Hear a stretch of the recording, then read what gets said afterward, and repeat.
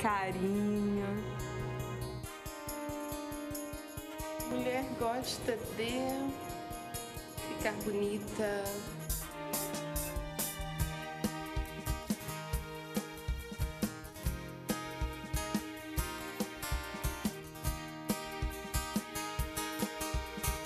A gente quer ser feliz.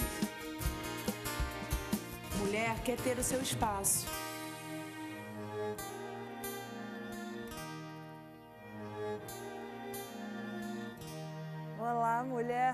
Sinta-se amada, honrada e valorizada, porque esse é o seu espaço, o espaço feminino está no ar. Eu sou Tereza Gomes e é um grande prazer é, entrar na sua casa, é um grande prazer anunciar boas novas 24 horas por dia e colaborar com isso aqui na Boas Novas. Se você que está assistindo gostaria de nos ajudar a continuar transmitindo Jesus 24 horas por dia, ligue para gente participe, olhe, torne-se um semeador. Nosso contato é código 21 2112 6300. Gostaria de, de mandar um alô aí para o pessoal que a partir de agora assiste a Boas Novas no Rio de Janeiro pelo nosso novo canal digital 5.1. Que prazer conhecer você, mulher que está aí assistindo a gente e que prazer poder entrar na sua casa, na, sentar no seu sofá e bater esse papo com você. Essa é a Boas Novas, 24 anos transmitindo Jesus 24 horas por dia. E a Boas Novas vai continuar no ar até um dia, até o dia que a trombeta soar, se eu vier buscar a sua igreja, aí a gente sai do ar, em nome de Jesus. Até lá, o povo de Deus vai se juntar e a gente vai continuar transmitindo Jesus para a honra e glória do Senhor. O nosso programa hoje vai falar sobre síndrome do ninho vazio. Acho que esse é um tema muito delicado, né? Mulher para mulher, então. Mas ele não trata só para mulher. Então, se seu marido está aí por casa, seu cunhado, seu primo que está passando por isso, pode chamar que o espaço é feminino, mas os homens também podem participar para ouvir o que a gente tem aqui para falar hoje. Para conversar comigo, eu tenho uma xará. Quer dizer, eu sou xará dela, né? Porque, vamos lá, Tereza Morim. Ela é psicóloga e terapeuta. E é bacana, né? Que por fora quem chama Tereza, olha, é duas. Porque é o dia inteiro isso. Seja muito bem-vinda. Obrigada, querida. Obrigada. Mais uma vez. Mais uma vez. A nossa mais. sala e ao bate-papo com amigas que nos assistem em casa. Muito obrigada pelo convite. O tema é bem interessante mesmo. É, e também Carla Araújo, que também é conhecida de casa. Seja muito bem-vinda. Obrigada novamente pelo convite. E na música, mas também no bate-papo, que nós já descobrimos que ela está passando aí pelo início da síndrome do, do ninho vazio. Uau. Kelly Blima, seja muito bem-vinda. Alegria minha sempre, prazer enorme, que Deus nos ajude hoje. E você que está em casa também, seja muito bem-vindo e participe do nosso bate-papo. Lembrando que você participa desse programa, você que manda, você que faz a gente estar aqui sorrindo, feliz. Mande seu e-mail, é, sua sugestão, seu comentário, sua receita, para a gente continuar fazendo o Espaço Feminino é, o programa que é e cada vez melhor para você. Os nossos contatos são espaçofeminino@boasnovas.tv é o nosso e-mail, o nosso site é www, eita, www, isso é muito difícil de falar, vamos lá, www.boasnovas.tv e o nosso telefone é código 21 2112 6222. Ligue, converse, mande sua sugestão, você faz o espaço feminino ser o que ele é. Se você perdeu algum tema, gostaria de indicar para alguém, perdeu uma receita, enfim, lá no nosso canal do YouTube, todos os programas Espaço Feminino estão lá, bem como esse que você está assistindo agora, daqui a pouco vai estar tá lá youtube.com.br Boas Novas Oficial, temos fanpage no Face, temos Instagram, tem tudo, não tem desculpa, tá? Vamos lá! Síndrome do ninho vazio. Vamos começar pelo, pela, eu acho que o quadro clínico. Sim. O que, que caracteriza a síndrome do ninho vazio? É, primeiro eu tô achando muito interessante trazer esse tema aqui, Legal. porque isso acaba acontecendo, acontece. É mais comum do que a gente muito imagina. Muito né? mais comum, né? E tem um nome para isso, né? Que é o, a síndrome do ninho vazio, ou a gente também pode dizer de uma maneira carinhosa, que é o ninho do amor familiar, Legal. né? Que vai se eu não, ele não se destrói, ele vai se reconfigurando, né? A gente tem que pensar que sim, sim é uma sim, síndrome, sim. Ela está muito associada a quadro de depressão, né? Por mais que você falou aí na, na, apresentação de que os homens também estão incluídos nisso, mas é, e acho que até o homem mais contemporâneo está incluído nesse processo, nesse campo, mas é muito mais comum nas mulheres, né? Legal. É a saída dos filhos de casa. Então existe todo um ciclo, né? O bebê nasce, vai para a escola, aquela coisa toda, e um dia os filhos um belo dia. vão embora, né? E isso pode gerar, dependendo desses pais, né? É, ele perde aquela função parental. Né? Então, isso é sentido de uma maneira muito dolorosa. E às vezes isso foi a vida da pessoa por. Você sabe quanto tempo se passa cuidando de filhos, em média? É, são eu... 20 anos. Olha aí. Né? Em média, são 20 anos que você se dedica a cuidar de outro ser ou de outros seres. Então, Mais do que é você, natural. Até você mesma, né? Exatamente. Então, é, precisa de toda uma reconfiguração. Em casos mais graves, a gente vai falar, né? vai desenvolver sistemas em casos mais graves, inclusive precisa da entrada de um médico, né, para alguma se entrar num quadro de depressão. Algumas mulheres entram num quadro de depressão mais sério, né? Tem que se procurar ajuda. Né? É, existem aqueles casos em que a, culturalmente a mãe, né, como ela falou, Sim. é mais apegada, uhum. né, essa criança na nossa cultura. A mãe está mais próxima do uhum. filho e existem casos que essa mãe ou esse pai dedicou tanto tempo, né, que acabou se anulando. Anulou, às vezes, sair com amigos, ir ao cinema o casal, né, uhum. e anulou algumas situações que contribuiriam, que ajudariam para não, não passar de forma tão intensa essa síndrome do ninho vazio. Legal, legal. Uhum. Então, assim, é bacana a gente pensar desde já o que, que eu posso fazer aqui durante essa caminhada uhum. para lá na frente não impactar tanto na saída desses bacana. filhos. Existe vida após ninho vazio, Sim. né? Existe vida fora de ser mãe. A gente vai conversar muito sobre isso, mas eu queria ouvir uma música da Kelly, a música Tudo Entregarei do CD Ele Vive em Mim, é isso? Isso, vamos Passa adorar. Tudo que eu tenho, tudo que eu sou, Senhor, tudo vem das tuas mãos. E eu entrego tudo a ti, Senhor, para tua honra, para tua glória e para teu louvor. Eis-me aqui, Senhor. Tudo,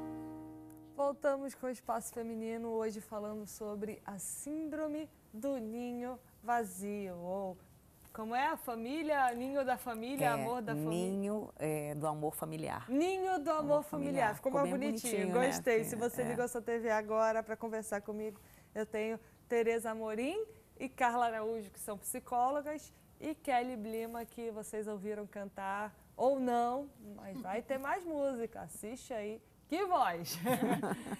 e aí, meninas, a gente começou, explicou um pouquinho sobre o que, que é, é não, o que, que causa, mas vamos voltar. O que, que é? É. Eu acho interessante para quem está ouvindo, eu acho que muitas mulheres vão ouvir, vão estar assistindo, estão assistindo esse programa, vão se identificar muito, né? Porque de uma forma ou de outra, todas as mulheres passam pelo ninho vazio. Toda a família passa por esse processo, né? Uma família constituída de filhos, né? E, enfim, às vezes é um, é um caso. Primeiro eu queria pensar o seguinte: vamos pensar no ninho de passarinho? Isso, pronto. Né? Essa imagem que a gente deveria Esse nome ter. não é à toa, Não né? é à toa. Só que nos animais a coisa é diferente, né? A gente sabe que os animais, eu, eu gosto sempre de lembrar que os, as mamães pássaros, na hora que está na hora dos bichinhos, né, começarem a voar, elas vão lá para cima, penhasco. Bom, hora de voar. É Tchau. isso? Vamos embora. E quem não voar também, não voou Deus. né?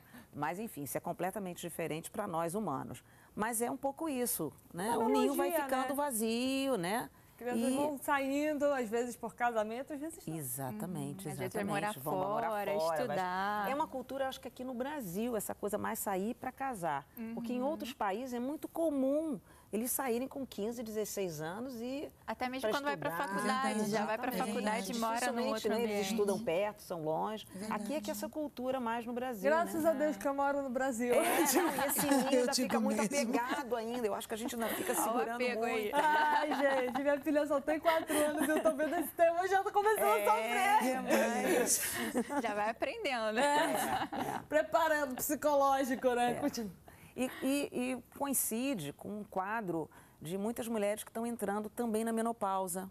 Ai, é muita coisa ao mesmo tempo, né? Às vezes a aposentadoria, muita informação. soma tudo. Esse é um nome novo, mas é, eu já, já venho acompanhando mulheres há muitos anos que têm esse é, processo mesmo. Então, os filhos saem de casa, às vezes a coincidência de estar perto da menopausa, está vendo a menopausa, aposentadoria, né, do marido também ou dela mesma. Aí a gente vai conversar se essa mulher também, algumas que podem estar ou- ouvindo e se dedicaram apenas aos filhos. Então, elas vão sofrer muito mais. É. Eu o quadro de depressão. Teve tudo e depois de repente se vê com nada, né? É, é aquela, eu sirvo para quê? Essa talvez seja a frase, né? É, é verdade. E, como já foi citado aqui, Uhum. se o centro era os filhos dentro, de um, dentro da família, e o casamento vai sofrer. Para quem está Com casada, certeza. o casamento vai sofrer muito mais Uhum, com com essa ausência do filho. Porque aí você descobre, eu tenho oportunidade de, de acompanhar algumas mães, Claro, sou mãe, claro. acompanho algumas mães e aconselho algumas que estão passando por crises no casamento por conta dessa síndrome Sim, que elas estão enfrentando. sim, sim. E de repente quando os filhos, a mesma coisa acontece quando os filhos, por exemplo, estão já na idade assim de 4, 5, 6, 7 anos, né? Que a gente os filhos já não dependem absurdamente, vamos dizer assim, assim de nós, de nós, eles vão ao banheiro já, já sabe pedir para se alimentar. E a gente também descobre assim, o que está acontecendo com o meu casamento? Uhum. né? Acontece nessa síndrome do ninho vazio, quando os filhos vão embora, o casamento. Oh, o que, que eu faço agora com meu Quem marido? é esse que eu tenho em casa, e né? eu? E eu? E não é fácil. Acaba sendo um sentimento de inutilidade, né? Que Aquele tudo ali que vivia era em função do filho, fazia tudo em função do filho e chega um momento que aquilo não existe mais. Mas é realmente um momento de buscar aí uma ressignificação, Com certeza. né? Novas formas, aí um novo plano de A vida. gente não foi mãe pra sempre, afinal, né? A gente não nasceu É um mãe. reaprender para muitas, reaprender para muitas, né? E para muitos casais também é um reaprender, um, um voltar a se descobrir, né? Voltar a sentir interesse pelo outro, prazer de estar junto com o outro Vem cá, e sobreviver essa fase. Meninas, como, como, como é que a gente sabe, pra, acho assim, de maneira prática, para quem está em casa passando por, por essa situação, quando é que a gente sabe que é essa falta, que é essa, essa sensação de vazio, de inutilidade, Quando é que a gente sabe que isso passou do saudável para, opa, alerta, uhum. fala com alguém, procura ajuda? Uhum. Tem aquele sentimento normal, que é a saudade, né? Uhum. Que é uhum. saudável a gente sentir e que de cara Só vai sente ser... saudade de quem a gente ama, né? Exatamente. E da saudade pode evoluir para essa síndrome do ninho, do ninho, vazio. Não significa que todas as mulheres ou todos os pais vão ter, Perfeito. mas alguns podem vir a ter. Né? E aí é interessante a gente observar quando passa dessa saudade para essa síndrome, que você começa também a, a, não ter aquele objetivo mais, você não encontra o que fazer, é uma sensação realmente de inutilidade. E agora, como é que vai ser meu dia? Não tenho ninguém para cozinhar, não tenho ninguém para, sei lá, para ajudar em alguma tarefa. Então, é realmente observar esse momento e quando você passa a se anular completamente. Não vou mais sair, não quero é, é, tentar. Perdeu a graça de viver, né? Não quero tentar buscar novas atividades, porque aí já é um momento que pode evoluir para uma, uma depressão ou para alguma outra, é, alguma do, outra doença, né? Psicossomática. Eu acho que o ninho vazio, na verdade, a gente sempre escuta falar sobre ele pensando na estrutura do casal. Perfeito. Né? Uhum. Aqui a gente está espalhando e vendo o que, que seria isso para a pessoa em si, para o pai ou para a mãe. Mas é, é sério quando a gente pensa, eu, eu sempre imagino que é aquela mesa, né? Em que o pai está aqui, a mãe está ali, são vários filhos, eles vão embora. E tem aquele momento em que um olha para o outro e aí? É. E agora, né? E o que, que sobrou da gente? É isso mesmo. Né? Então, um casamento que às vezes estava é, desestruturado, não estava bem, não estava com uma boa configuração, Mas, vamos chamar só assim. Só os filhos seguravam Agora o casamento, vai aparecer. Né? Aparece é mesmo. muito comum as separações nessas, é, nessa época, uhum. porque um olha para o outro e não... O que, que a gente está fazendo junto, né? Uhum. E eu sempre gosto de dizer que os filhos, ele não, não unem os pais nesse sentido, uhum. eles desunem, é né? Verdade. Porque eles só adiam um problema que você não quis ver ali, enfim, não teve uhum. capacidade, que lá na frente você vai ver como também acho, e aí eu sou mais ousada em dizer na minha experiência clínica, que muito do ninho vazio vai dizer da própria pessoa, né? Que vazio é esse que ela carrega existencialmente. Uau. Né? Que legal. lá na frente vai uhum. aparecer. Isso é legal. Né? Uhum. Quer dizer, vai aparecer num, na hora em que ela perde essa, é, é, essa utilidade. Aí ela vai olhar, e aí, o que, que, o que, que é a minha existência? A coisa é muito mais profunda que nesse que eu tô sentido. Aqui? O sentido da vida. Né? Então, uhum. essa preparação, esse planejamento, ele é importante. A gente tem que pensar como um ser único, né? Bom, já Não que você como. falou em prepara... preparação e planejamento, Fale mais sobre, tipo assim, como é que eu faço agora? É, é, é, comum hoje em dia as pessoas com mais idade continuarem a trabalhar, querem trabalhar, uhum. estudar, né? É, isso é importante. E, Ocupar o tempo, né? E para as mulheres que estão ouvindo nesse momento, isso é fundamental. As mulheres são muito mais fáceis de se anularem, Sim, né? É se verdade. dedicarem mais aos filhos, ao, ao, lar, entendeu? Então elas sofrem mesmo. É, né? é, doutoras, é como hum. chega a beirar a sensação de luto? Sim, sim, sim. sim Porque algumas sim.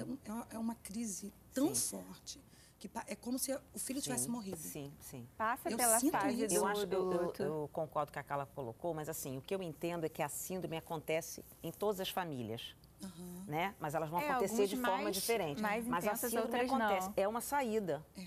Né? O ninho estava cheio, né? o ninho estava vazio, entrou lá os filhotinhos, e agora os filhotinhos estão saindo. Então não será tem como se é olhar para aquele assim, ninho. existe o síndrome, existe a dor, existe tudo, mas às vezes será que isso não é quase como uma chantagem da mãe para o filho não ir embora? Olha, a coisa é hum. séria, a coisa é séria, porque é. tem a culpa dos filhos. Não, gente, porque é assim. É, mas é verdade. É, mas aí é um detalhe que é importante a gente desenvolver também. Cuidado para essas mães, claro. né? Porque esses filhos muitas vezes saem de casa com um sentimento de culpa. Pois é. É exatamente né? isso. E às vezes essas mães são boas de alimentarem. E está sendo difícil também para eles, né? Assim não, como outra, é para as mães, para o filho difícil, também Se a gente é. quer o melhor para o nosso filho, como é que o filho vai estar tá bem fora de casa, estudando, uhum. casando, qualquer Como é que ele vai ser feliz sabendo que a mãe está lá? Porque, poxa, filho ela... não sai de casa porque deixa de amar a mãe, porque deixa de amar pai, porque Deus diz, juntará o homem, uhum. sua esposa, e vai sair, vai acontecer. É normal, é um e crescimento, evolução. Filho, né? Uhum. Mas, assim, o meu questionamento é até que ponto esse, esse comportamento da mãe não vai afetar Olha, a vida do filho lá. Tem mãe que fica até mal quando a criança se adapta bem na escola. É verdade. Começa Tem aí, né? que a fica síndrome. péssima. Aí vê aquelas péssima. mães que estão ali com as crianças chorando, que precisam de mais assistência, aí de repente a dela tá ótima. E a professora ainda assim, olha, você está liberada. Ela percebe que não está sendo tão adaptação. necessária. Primeiro dia de escola da minha filha foi mais Deve ou menos algumas isso. mães vivendo isso nesse momento. E elas vão ficando, como assim? Meu filho vai bem, me dá tchauzinho e. Às vezes a mãe É. sofre mais do que o filho, né? Eu, eu, eu não sei vocês, mas eu fiquei assim com uma das minhas filhas. Como assim? Quando eu saí, meu marido, você está chorando? Ai, porque ela, ela ficou chorando, né? Ela fez um escândalo. Eu disse, não, ela ficou ótima. ela não chorou. Ou seja, começa muito antes do que a gente imagina, né? Exatamente. A criança já mostra ali como é que vai ser esse ninho. Ou seja, minha filha não vai nem olhar pra mim quando sai de casa, porque o primeiro dia de aula dela, duas semanas atrás, eu fui pronta pra passar o dia lá, eu cheguei lá, ela olhou, todo mundo vestidinho igual ela, foi embora, nem olhou pra trás. Aí eu falei, não, tudo bem, no início, mas eu vou ficar aqui na escola, É. porque, poxa, primeiro dia de aula, né? Deu cinco minutos dessa diretora da escola, mãezinha. Aí eu, ai, Jesus. Ai, meu Deus.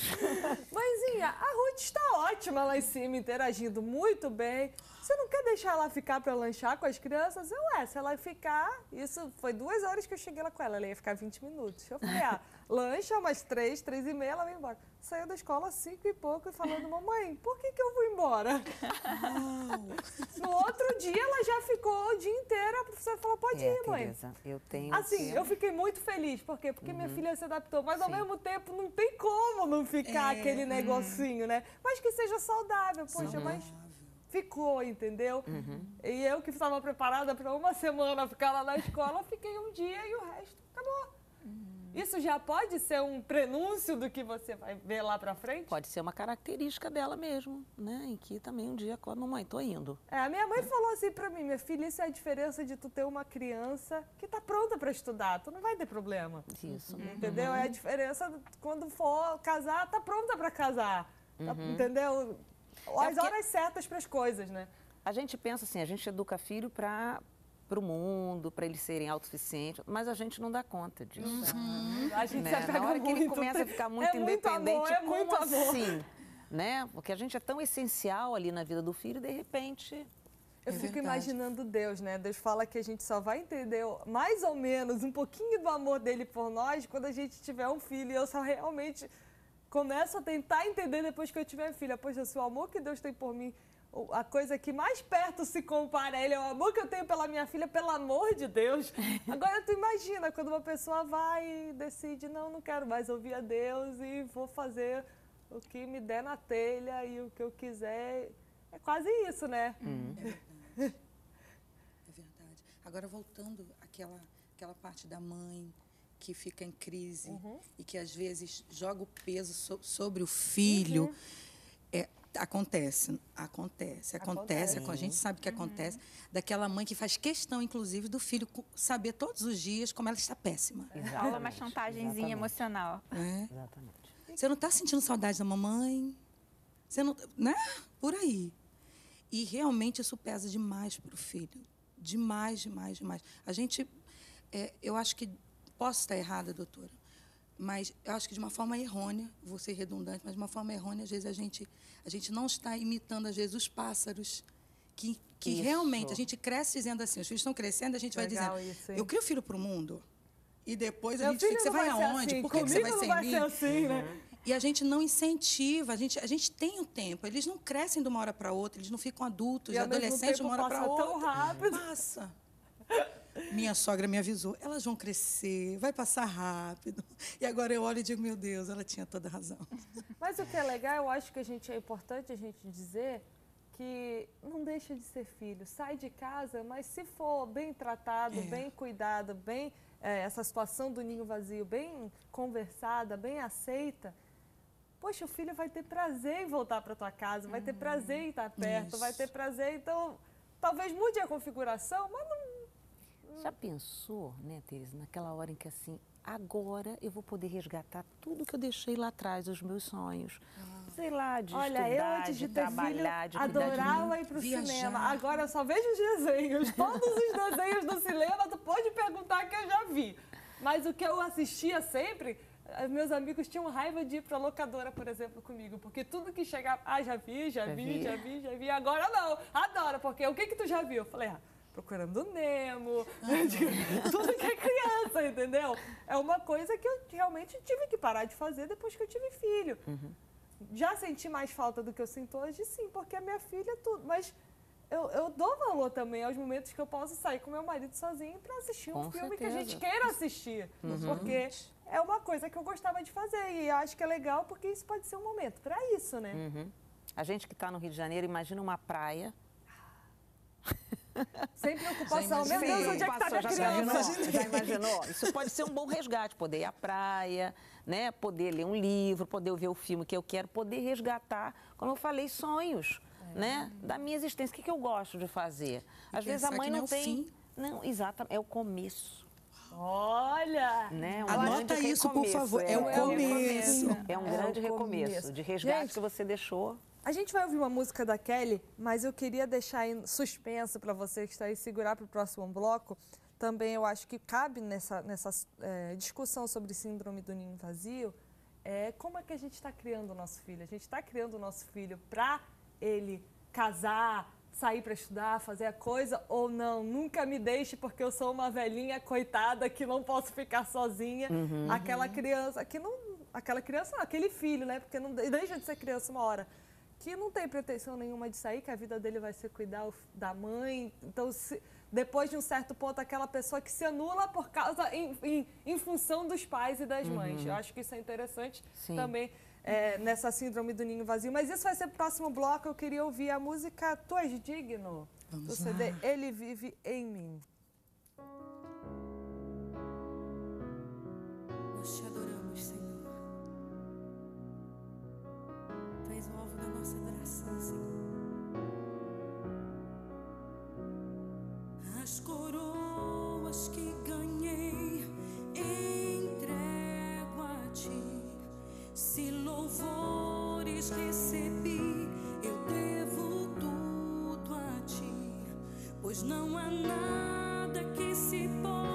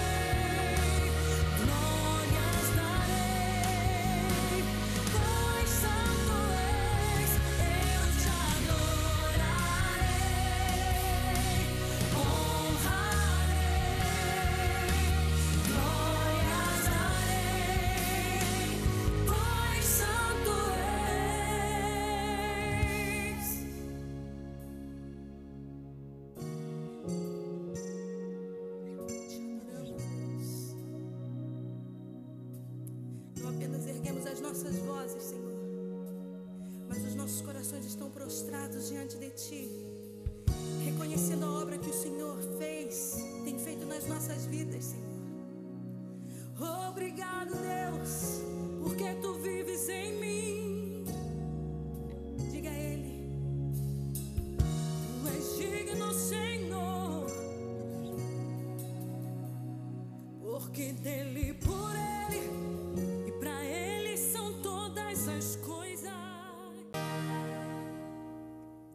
Voltamos com o Espaço Feminino hoje falando sobre a síndrome do ninho vazio. E a gente deixou aí uma questão suspensa no último bloco para ilustrar ela. Eu vou contar uma historinha.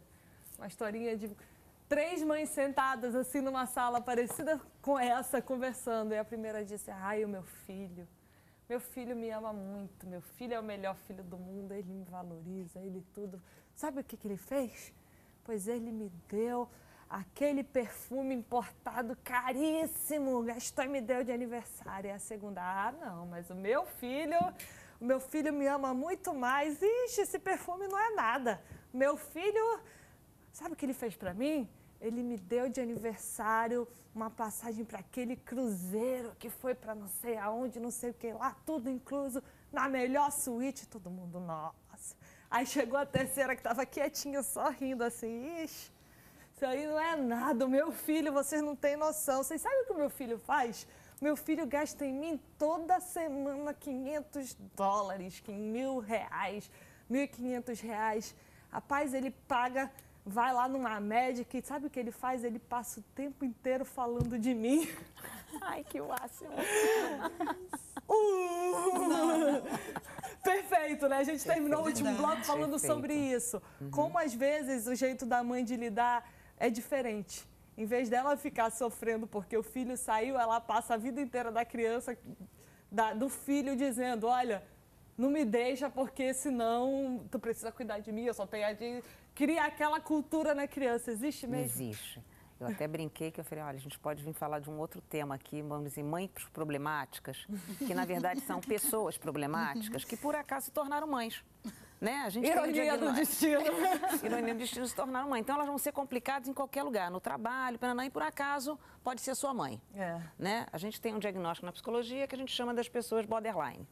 Né? As pessoas Perfeito. borderline, elas dão muito trabalho conviver com elas. Por e ter si uma só. mãe, porque é uma mãe que tudo você está devendo.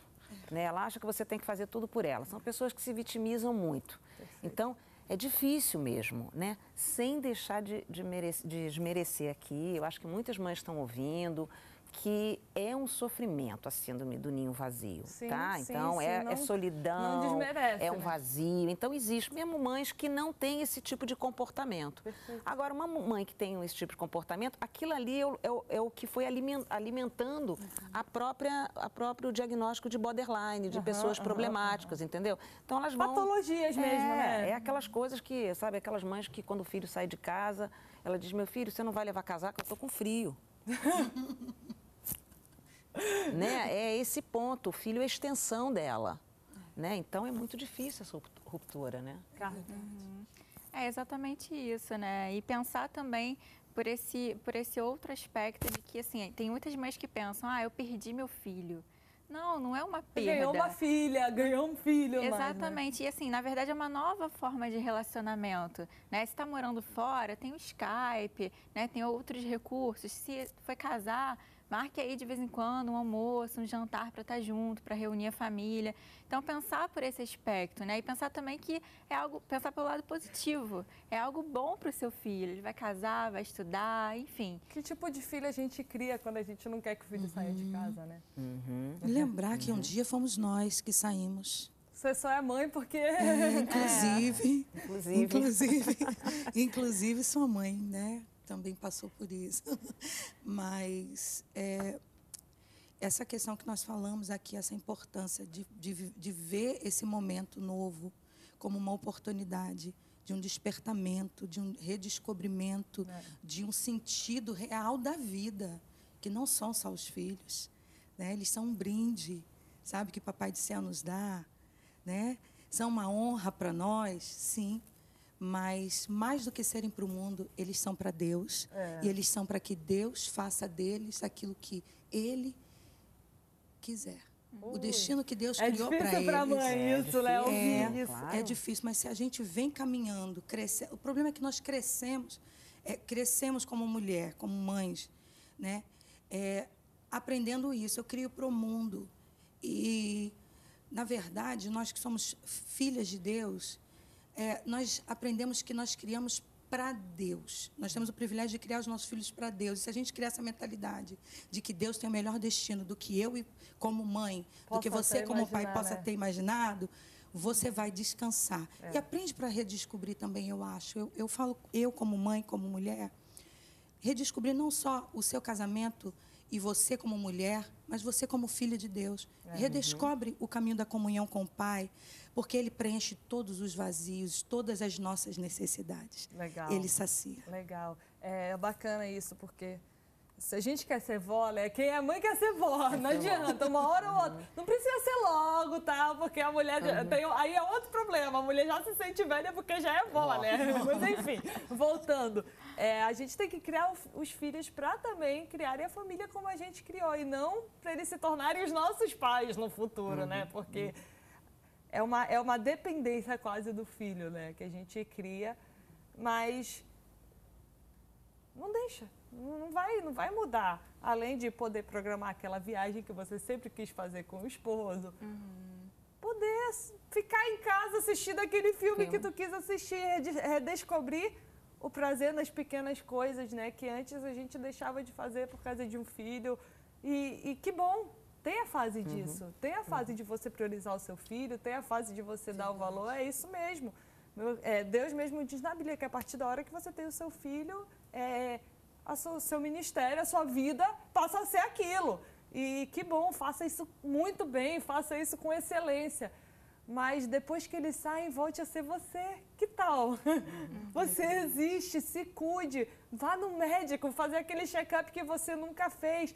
Fique bem para o seu filho, para ele ter segurança de viver, para ele ter segurança de continuar e para você poder ajudar ele com os netos, com os sobrinhos. Ah, Meu pai disse que, que, que os netos é, trouxeram de volta o sentido assim, da vida. Porque tu chega numa. Não porque os filhos foram embora, mas depois de uma certa idade, dizendo ele, tu chega naquela crise da meia-idade, crise daquilo assim. E parece que o fôlego voltou quando chega aqueles netos, aquela outra criança. E outra, quando é neto, não tem mais aquele negócio de educar. O vovô pode estragar um pouquinho, né? É um amor diferente, é um amor... É, eu, eu ainda não É, cheguei é um lá, amor mas eu, eu acredito. diferente. Mas, enfim, eu, eu gostaria de frisar aqui, Teresa, se você me permite, né? Claro, sou psicóloga, a Carla também, mas dizer, eu sempre fico com uma preocupação, mesmo quando a pessoa tem muita fé, né? é, que às vezes ela deixa de lado o aspecto psicológico. E às vezes ela vê que tem alguma coisa, gente, mas eu, eu tenho fé, eu estou né, buscando tudo e parece que alguma coisa não resolve. Por quê? Está precisando lidar com, trabalhar o lado psicológico. Então, não é incomum que essas mulheres muitas vezes precisam fazer terapia. Isso Gente, não é um problema, a gente estava né? outro dia aqui num outro programa, a gente falando, hoje a terapia está tá um, tá uma coisa mais acessível, né? É possível se buscar, né? Eu, às vezes, não falo aqui, mas eu tenho um instituto de psicologia que a gente recebe pessoas com trabalho também mais eh, comunitário, entende? Sabendo que as pessoas precisam, porque senão elas adoecem, elas vão ficar pior, sabe? A Vai depressão uma tá bola aí. de neve, né? É, a depressão está aí, entendeu? Isso é uma, é uma porta de entrada mesmo, a síndrome do ninho vazio, de uma mulher, junto com a menopausa, com esse Sim, quadro sim, todo, enfim, ela desenvolveu uma depressão. Não é difícil, porque é triste. É você se sentir sozinha, você se sentir inútil, porque você pegou tudo aquilo que você tinha, parte da sua vida, e dependendo da mulher, pegou 90%, 100%, 70%. No mínimo, você tem que pegar uns 60%, na pior das hipóteses Fica bem. para ficar bem. Mesmo trabalhando, mesmo fazendo outras coisas, você tem que dedicar aquilo ali aos teus filhos. Ah, é. e pra aí eles saem, eles. aí você imagina uma fatia de pizza aqui, né? Eles saem, Uhum. aí fica sobrando aquela parte toda. É difícil, né? É difícil, você não sabe muito que- por onde eu começo. Se vou no supermercado, de vou fazer comida para quem, né?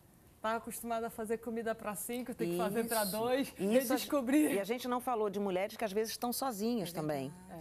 Né? Que estão numa viuvez ou numa separação, enfim, que aí é- o ninho fica tudo vazio mesmo, né?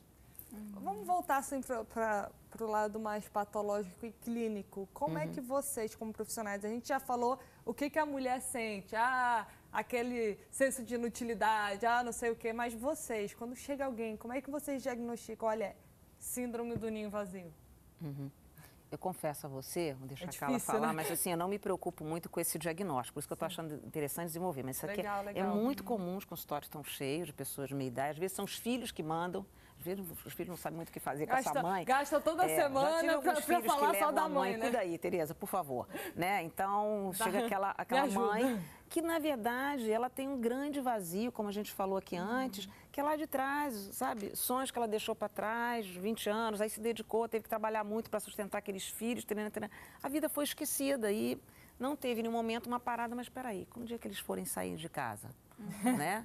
E a probabilidade também dessa mãe de criar um, um- um comportamento mais patológico, de culpar os filhos. Ah, ele está onde está hoje porque eu trabalhei, fiz tantas coisas, lavei, Amém. passei, cozinhei. Amém, É, mas- mas Mas é um peso. é um peso muito grande que esse filho carrega. Tem que se tomar cuidado também. Mas, enfim, vamos dar Senão atenção, vai, sim. vai a mãe, vai o filho. pro- Mas eu sugiro que essa mãe vá procurar uma ajuda psicológica, vai sentar, Mesmo porque ela vai que não sentir... ache, ache que não esteja, eu acho que é legal só Isso. conversar Porque sobre, vai- né? Qual é o discurso dessas mães? Meus filhos não têm paciência. E possivelmente não tem mesmo. Você não... Não tem como. Né? Às vezes é difícil conviver com isso. E outra pessoa vai ter uma outra escuta. Né? Então é e às bacana. vezes a gente, a gente só fica sentindo, eu falo muito isso aqui no Espaço Feminino, mas eu não canso de repetir. Aqui dentro é desse tamanho o problema. Mas às vezes só de falar ele vira isso, né? Isso. Às vezes eu tenho um pouco disso, eu tô sentindo aquele negócio, quando eu começo a falar, eu tô falando, pô, que bobeira, por que, que eu tô fazendo tudo isso por causa disso, entendeu? Desnecessário. Mas só falar, botar pra fora e, e, e, poxa, um filho tá casado, tem que cuidar do casamento, tem que cuidar do filho, tem que trabalhar pra sustentar. Você não, não não necessariamente está doente porque foi no psicólogo. Não. E, e- não. e outra, psicólogo é um médico que nem outro. Você fica com a garganta ardida, não vai e toma um remédio? Por que, que existe preconceito de tomar um remédio psicológico? É a mesma coisa, né? E se não tiver, às vezes não precisa, precisa só reorganizar a vida, lidar, Conversar, né? reorganizar as emoções. As Eu acho tão ideias. bonitinho, entendeu? Aí você fala, ah, sabia de uma coisa, vou procurar aquele cursinho que eu tanto tinha vontade de fazer, vou fazer curso de internet, né? Então elas descobrem também outros. Vou viajar. Vou viajar. Carla vai. Não, dia é legal, rápido. é legal isso que você falou, Tereza, que geral- geralmente quando chega até a gente é porque tem alguma coisinha que está incomodando. E eu costumo falar isso que você diz também, que você diz que geralmente quando a gente fala, ó, já sai um peso enorme daqui das costas. A pessoa já sai já assim, nossa, como eu tô me sentindo melhor. Por quê? Porque a fala, né, tem essa questão de proporcionar isso também. Ajuda muito nessa, nessa questão. Muito legal. Eu, e Kelly, eu vou, eu, vou te, eu vou te perguntar, porque ela estava falando pra gente, olha, eu já, já casei uma e estou preparando a segunda para casar. Então a gente tem alguém aqui que, que sabe dizer com propriedade como é que está sendo, como é que foi a saída da primeira e como é que está sendo a saída da segunda. Porque a gente é crente, a gente crente, mas a gente é mulher, gente. Sim. É, A gente é gente. A gente é gente. Então alguém, alguém que, que pode falar e você que está aí em casa se relacionar ou não e até aprender. Olha, a, Mariana vai fazer dois anos que está casada, só em setembro, inclusive. Então tem um ano, É. meses, dias e é, horas. é. Não paro para contar. Melhor, mas, né? mas assim, é, para mim, é, eu senti com certeza a saudade, a falta. Eu já cheguei a dizer aqui em outros programas atrás é, sobre essa situação. Eu fiz um programa especial com ela sobre isso aqui. Que legal. Nós gravamos. E eu, eu disse que, por exemplo, eu- nós íamos para alguma coisa, para jantar fora, ou, ou para um passeio em família, ou para a igreja, e quando nós retornávamos e saímos. Por que, que você fechou a porta tão rápido, Mariana? Ainda vai sair? Ah. Porque ficava que É a tá fal- adaptação, né? só uma coisinha simples, é. uma coisa boba. Mas a gente vai sentindo. E essa questão da família toda ao redor da mesa. E a gente, graças a Deus, que a gente vem desenvolvendo essa, esse, essa pré-adaptação, vamos dizer assim, não sei se é o nome certo, ao longo desse período que ela, que ela já estava perto de casar, há um ano antes de casar, ela ficou noiva, com, com um ano ela se casou, de, um ano de noivado. Então a gente vem se preparando para isso. Eu vim né, me ajudando nisso, sabendo que eu iria sentir. Sem Minha ignorar o primeira fato, né? Às filha, vezes a gente pensa, vai casar, mas vai ser só daqui a um chorei, ano, eu daqui a um ano eu chorei. penso nisso, né? Eu chorei horrores. Chorei mesmo, não tenho vergonha nenhuma de dizer. Mas eu dou graças a Deus, nenhuma vez eu liguei para ela para jogar. Legal. Por que, que você não está vindo? Por que, que você não veio? Eu vou te segurar aí, porque ela ainda vai terminar de falar sobre a Mariana Mariana. e vai falar sobre uma filha que ela já disse pra gente que tá preparando para casar. Então segura aí que a gente vai pro break, mas já já a gente volta.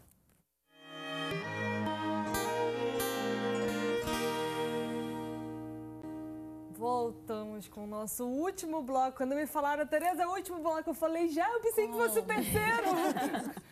Mas eu- como o tempo é curto, eu vou logo passar de volta aí o microfone para Kelly para ela terminar de contar a história dela. Vai. Não, agora a gente, toda casa, não só a mãe, eles me ajudam muito, né? A gente desenvolver agora essa pré- nova pré-adaptação com a Stephanie, porque a Stephanie também não vai ficar mais muito tempo em casa, ela, vai, ela já vai casar. Então, eu estou tentando reproduzir algumas coisas que eu, que eu tive Extraiu o que teve fazendo de bom. lá bom, de bom e aprendendo novas, novas coisas também, para não me martirizar, para não sentir tanto. E eu vou dizer para você, por mais que a gente sinta saudade, como é bom viver, se abrir para viver essa nova fase. Ué, como assim? Não é a morte, não. Vambora, a gente sente pra caramba, sente. Mas eu tenho gostado de, tá, de ficar agora só olhando duas crianças. E outra ganhou mais dois filhos, né? E mais dois. Nossa, isso aí é um detalhe especial demais. São o Caio Henrique e o Vanderlei, meus genros. São dois filhos de verdade. Legal, legal. Desafio aí, se abre e, e abraça, não, não afasta, né? Porque é uma fase nova. Gente, o nosso programa já está no fim. Eu queria dar um espaço aí para Tereza e para Carla darem as últimas considerações para a gente ouvir a Kelly para terminar o programa. Uhum. Enfim, a gente não desenvolveu aqui, mas enfim, às vezes tem pessoas que estão ouvindo isso que também tiveram algumas coisas não tão fáceis assim na, na síndrome, da maneira que o filho também saiu de casa, enfim. Perfeito. E, e o que eu deixo de conselho é procura ajuda, vai para uma terapia mesmo. Hoje em dia é, não é tão difícil se buscar esse espaço para reorganizar e fazer um novo planejamento de vida. né? Perfeito. É, eu endosso aí o que a Tereza disse. Procure uma ajuda caso não saiba o que fazer. Né? Tente fazer, de repente, cursos, né? buscar aí realmente é, algo que te dê prazer, né? Para passar esse momento de uma forma mais tranquila. Tem tantos projetos bonitos Sim, também que sim, precisam de sim. pessoas envolvidas, que tenham tempo. Na minha igreja mesmo tem um projeto que ajuda crianças. E assim, é super bonito. Tem nada mais precioso do que a gente dedicar o nosso tempo né, a crianças que precisam. Então, assim, acho que é uma dica. Me desculpa. Vai. Cuidado, mães, porque assim, os filhos também saem de casa, a gente estava falando aqui, Uhum. Eles também se, se mobilizam muito, então a gente não tem o ninho da saída de casa, entendeu? Os filhos sofrem também ao casar, ao sair Sim, de casa. sim, sim. Então vamos tomar cuidado, porque está todo mundo sofrendo nesse momento, né? Não é só a gente, né? Né? Não- nós não É. somos as únicas delicado. vítimas. Então, eu acho que o bacana é dizer aí pra você, mulher, tente ser construtiva. Tente ser Isso. construtiva pra você mesmo, com a sua saúde, com a sua beleza, suas prioridades pro seu esposo e pros filhos também, que ficam, porque não é só o filho que sai, tem os filhos que ficam e também pro, pro seu filho, pra sua nora e os futuros netos que vão chegar. Eu acho que isso é, é o segredo. Ocupe sua cabeça. Eu espero que você tenha curtido o Espaço Feminino de hoje. A gente já vai ficar por aqui. Mas antes eu quero ouvir a música Creio, do CD. Ele Vive em Mim. Kelly, Tereza e Carla, muito obrigada. E eu que agradeço.